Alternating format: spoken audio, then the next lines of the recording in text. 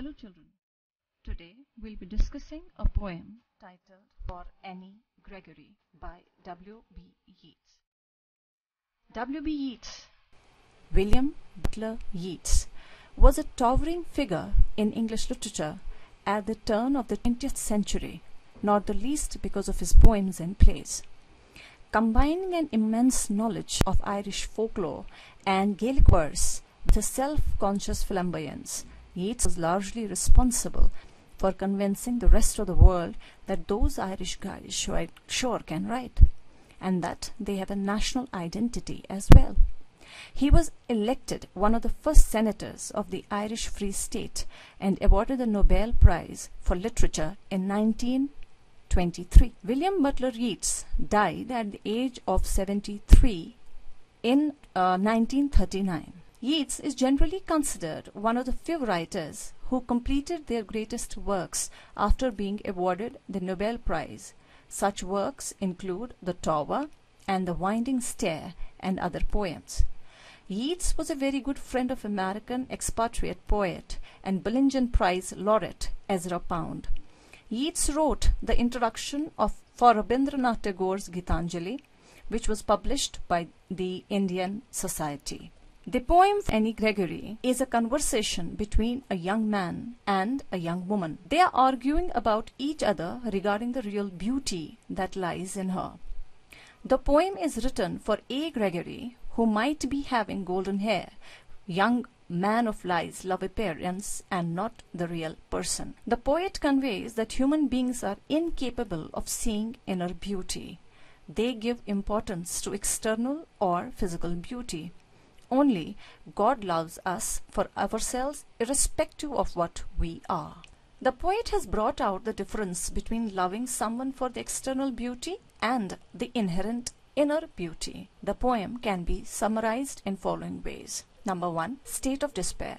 The young man says that he has been thrown into a state of hopelessness by the young woman's great honey-colored rampart at her ear. Her air is compared to a rampart or a wall built to defend a castle, having a broad top with a walkway. Number two, true love. The young woman says that she can get a hair dye and dye her hair in brown or black or carrot color. She wants to do so because the young man in despair may love her for her own sake and not for the yellow color of her hair. Number three, love of God. The young man says that he heard an old religious man announce solemnly the previous night that he had found a passage from the holy book to prove that only God could love the young lady for her own sake and not for her yellow hair. In this poem, the poet describes a conversation between himself and Lady Gregory's granddaughter named Annie Gregory. He tells Annie that her yellow hair is beautiful and that all the young men who claim to be in love with her love her for that hair. In other words, all men love her for her outward appearance and not for her inner beauty. Annie then replies to the poet, saying that she can easily dye her hair black or brown or orange, and then she would look ugly. If she looked ugly, then perhaps some man would look beyond her appearance and see her for who she really is on the inside. However, the poet quickly assures her that no such thing will happen. It's a universal truth that men always judge women on their physical appearance alone. Besides, if Annie wants to look ugly, she cannot do so, for she is a beautiful person on the inside. The idea of beauty is a cultural conception or one that has been created by human beings themselves. That's why this idea is a very one-dimensional and unchanging. It is believed that women with lighter hair are beautiful, whereas women with darker hair are ugly. This idea is so pervasive that everyone takes it for granted and believes in it blindly. Even Annie Gregory thinks the same way about beauty. She believes that if she dyes her hair black or brown or red, then she will look ugly as opposed to her naturally blonde and honey-colored tresses. Tresses, the hair, that makes her look beautiful.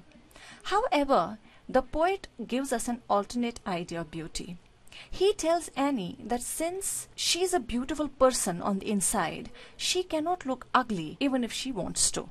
She, that is, beauty exists within us and not outside. However, we do not see Annie responding to the poet's unconventional idea of beauty in this poem.